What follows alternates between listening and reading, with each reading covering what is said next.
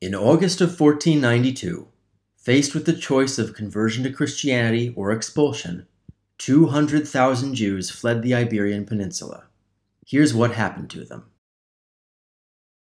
Initially, around 100,000 Jews fled to the Kingdom of Portugal, which had not much earlier been at war with the Spanish crown.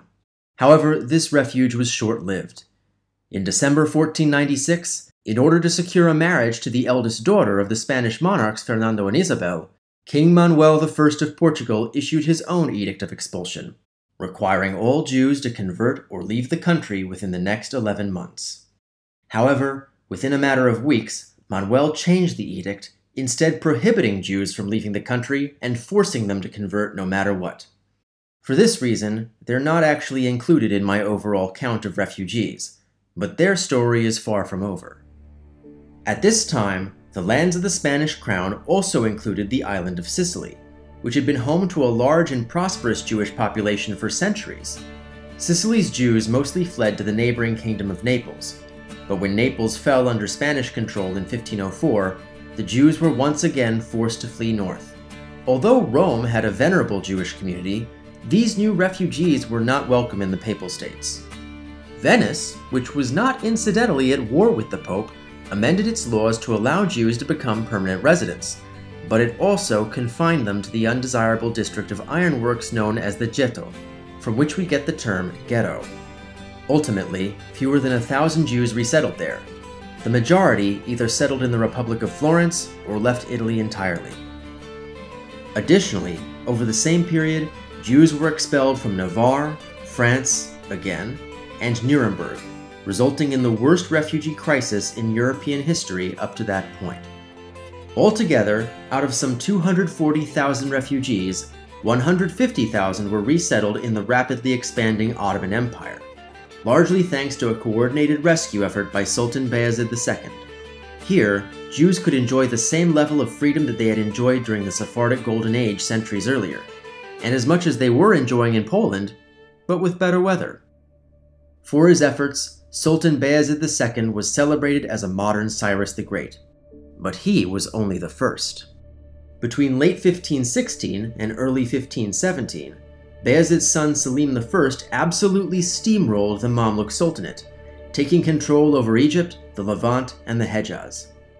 With that, the Ottomans controlled not only the extremely valuable spice trade, but the holiest sites in both Islam and Judaism. Selim's son and successor, Suleiman the Magnificent, was proclaimed the new caliph of the Muslim faith, and quickly set to work rebuilding Palestine. On the one hand, part of this rebuilding included permanently sealing the Golden Gate so the Jewish Messiah could never enter Jerusalem through it. But on the other hand, an integral part of that rebuilding process was resettling Sephardic refugees in Palestine.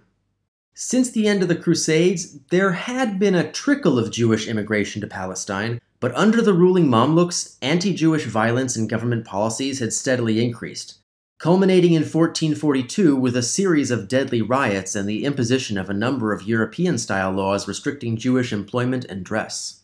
When the Mamluks finally fell, Palestine's Jewish population was no larger than it had been 200 years earlier. After Suleiman's conquest, it doubled in a single generation. It was still nowhere near the community of 50,000 that had been there before the Crusades, let alone the two million of ancient times. Many decades later, the Jewish Duke of Naxos, tasked by Suleiman with undertaking this resettlement program, would consider the effort a failure. But while Palestine may not have been fully Judaized, the 16th century unquestionably saw it restored as the epicenter of Jewish study and thought. But not Jerusalem, nor any of the other holy cities, nor even one of the major ports. Jews did resettle in those places in large numbers, but strange as it might sound, the most popular destination, the new center of the Jewish world, was a place you've probably never heard of. Perched at the southeastern edge of the Upper Galilean highlands, Safed had been a sizable but fairly innocuous city in the days of ancient Judea. Josephus mentions it as one of the cities he had fortified during the First Jewish-Roman War, though no actual fighting took place there. After the Bar Kokhba revolt, when the great Sanhedrin relocated to the Galilee, nearby Mount Meron became a popular burial place for its members. Shimon Bar Yochai is the most famous, but he was far from alone. And over time, These graves became shrines for pilgrimages, as was mentioned by Benjamin of Tudela on his journey in the 12th century.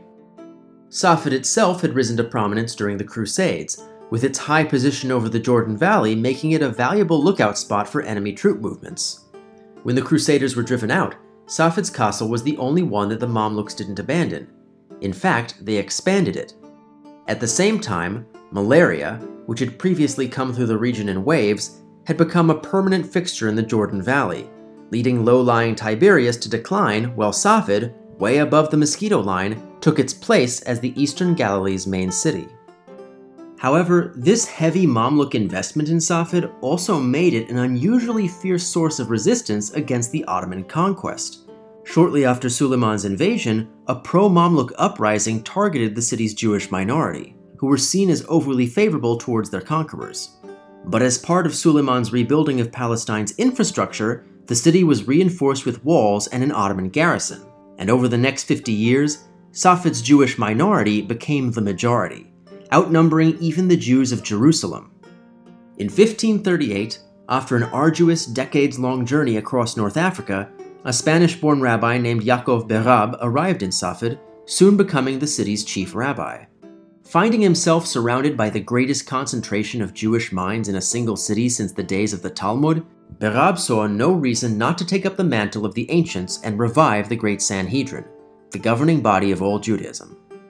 That effort failed, but he did succeed in reviving the ancient ritual of ordaining rabbis known as smicha, which he first bestowed on four disciples Moshe Ditrani, Moshe Alshich, Yosef Sagis, and Yosef Karo. These five rabbis would form the beginning of the hotbed of Jewish scholarship known as the Safed Circle. Though it was their students, the first generation of great rabbis born after the wave of expulsions, who would propel the city to greatness. Moshe Cordovero was probably born in Safed, but his early life is hopelessly entangled with legends cooked up by his students. It's sometimes claimed that he was one of the founding members of the Safed Circle, despite having been 14 at the time. His name wasn't even Cordovero, it was Cordoero, rope maker, pretty far from the grandeur of Golden Age Cordoba. Cordovero, that's the name posterity has given him, I just have to go with it, popularized the practice of meditation by way of walkabout, wandering in the forest of the Upper Galilee for weeks at a time in order to remove distractions and ponder the mysteries of Kabbalah. Basically, shower thoughts. The idea wasn't to stop thinking, but to allow one's mind to wander. Cordovero's two main works, Pardes Rimonim and Tomer Dvorah, aren't very well remembered today, but they were hugely important for systematizing Kabbalah into a coherent discipline, reconciling early forms of the practice with that laid out in the Zohar, as well as using Kabbalah to analyze non mystic concepts like ethics. They also established Kabbalah, rather than the lofty constitutionalism envisioned by Yaakov Berab, as the dominant mode of Jewish study for most of the early modern period. But why? Why Kabbalah, and why now? Well, before the Holocaust, the Alhambra Decree was the defining modern tragedy of the Jewish people. A huge percentage of the world's Jewish population, while not killed, was in a sense lost. And now its survivors, those who had left the peninsula, were everywhere. You didn't have to look long in any Jewish community on the Mediterranean to find them. One big reaction to that tragedy was the growing belief that the Messianic age was imminent, provoking the deep dive into mysticism in which the Safed Circle came to specialize. But the face of that movement would not be Moshe Cordovero. From the moment he was born, Yitzhak Luria was basically the poster child for the new Jew of the 16th century, a native of Palestine born to an Ashkenazi father and a Sephardic mother. Orphaned at a young age, he was taken in by a wealthy uncle in Egypt. But instead of taking over his uncle's work as a tax collector, Luria used his family inheritance to take Kabbalistic meditation to a whole other level, disappearing to a cabin on the Nile for years, seeing his family only on Shabbat and speaking as little as possible, and only in Hebrew. Finally, in 1569, Luria moved with his family to Safed, meeting Moshe Cordovero just before his death the following year.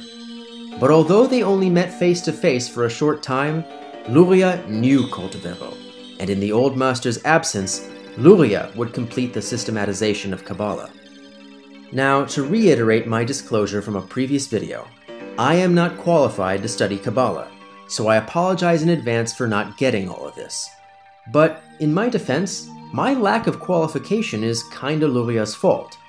It was Luria who first separated his students into novices and initiates, reserving the most difficult and esoteric subjects to those who had proven themselves capable of understanding them, and perhaps more importantly, not misusing them. So I'm gonna tread lightly.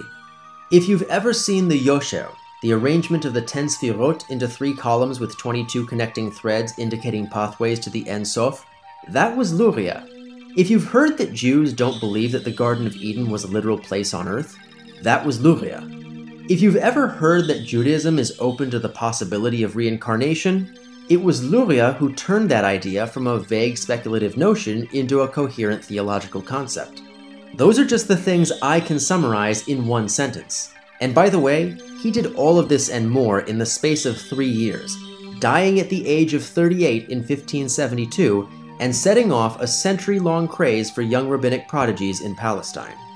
A year after his death, Luria's teaching notes were collected by his top student, Chaim Vital, and published as the Etz Chaim, which has been the instruction manual for students of Kabbalah ever since. Despite all of this, there was still a Jewish world that existed outside the realms of mysticism and meditation. There were still Jewish courts that needed to make rulings, and the Alhambra decree had created a problem for those courts that had never really existed before. For centuries, Sephardic Judaism had led the world. When medieval Jews fled England, France, and the Holy Roman Empire, the vast majority sought refuge in Spain. Sephardic rabbis had been the best educated and the most respected, and Sephardic courts set precedents that came to be adopted across most of the Jewish world. But that acceptance was not universal. And with Sephardic refugees now scattered across Jewish communities in huge numbers, often outnumbering the Jews already living in those places, it was no longer clear whose law was the law of the land. Maimonides, the greatest of all the Sephardic rabbis, had claimed that his Mishneh Torah was the only book on Jewish law, other than the Torah itself, that any Jew would need. But as beloved as Maimonides might have been, many of his rulings in the Mishneh Torah were never widely accepted, even if they had been, almost four centuries had passed since the Mishneh Torah's publication. Legal interpretation had evolved, history had moved on. Jewish law was never supposed to be set in stone. Until 1565. Despite the reverence that still existed for Maimonides, his Mishneh Torah had long since fallen out of popularity in favor of the 14th century Arba Turim, a four part compendium which offered multiple interpretations of Jewish law and excised many laws which had ceased being relevant, like the commandment to shun the Moabites, or the instructions for performing a sacrifice at the temple. In the 1550s, one of the founding members of the Safed Circle, Rabbi Yosef Karo, wrote Bet Yosef, Nominally a commentary on the Arba Turim, the Bet Yosef really just used that book as a jumping off point to explore how consensus interpretations of Jewish law had evolved over time. However, only after publishing the Bet Yosef in 1559 did Caro discover, while researching for future projects and reading fan mail, that there was a wealth of Jewish legal history that he had somehow missed. I could never imagine what that's like.